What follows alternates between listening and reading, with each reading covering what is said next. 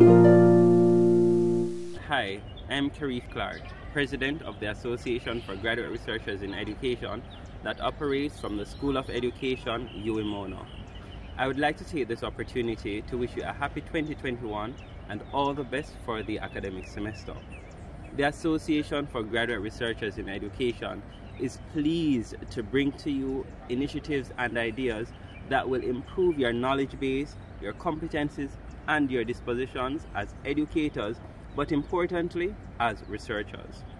I would like to take this opportunity also to encourage you to not be dissuaded from the challenges that would have arisen from the global COVID 19 pandemic.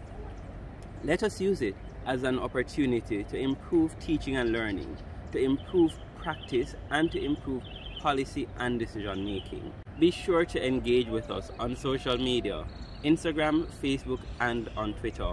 Also, you may connect with us through email at agrejamaica at gmail.com. Thank you, and we look forward to engaging you this calendar year.